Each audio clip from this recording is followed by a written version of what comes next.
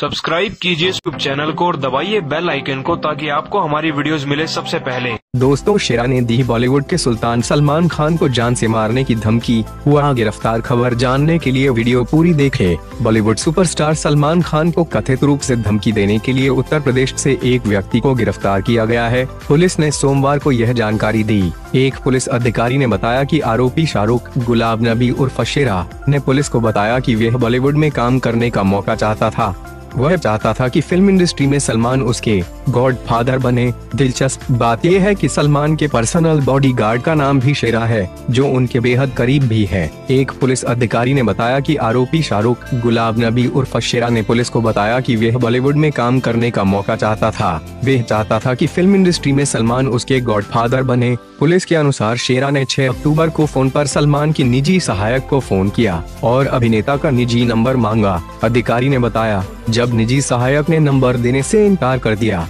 तो उसने अभिनेता को गाली देना शुरू कर दिया और उन्हें सलमान को जान से मारने की धमकी दी। उन्होंने बताया कि इसके बाद शेरा ने 13 नवंबर को सलमान के पिता सलीम खान को फ़ोन किया और अभिनेता का नंबर मांगा। उसने दावा किया कि वह गैंगस्टर छोटा शकील के लिए काम कर रहा है। अधिकारी ने बताया कि सलीम खान ने सलमान का नंबर देने से मना कर दिया तो शेरा ने उन्हें भी धमकी दी। वरिष्ठ पुलिस निरीक्षक गिरीश अनाकर ने बताया कि पुलिस से संपर्क किए जाने के बाद हमने बांद्रा पुलिस स्टेशन में अज्ञात लोगों के खिलाफ एक मामला दर्ज किया। उन्होंने बताया कि शेरा को इलाहाबाद से गिरफ़्तार कर लिया गया है। शेरा को सोमवार को मुंबई लाया गया और एक अदालत में पेश किया गया। अधिकारी ने बताया कि अदालत ने उसे 22 नवंबर तक पुलिस हिरासत में भेज दिया है।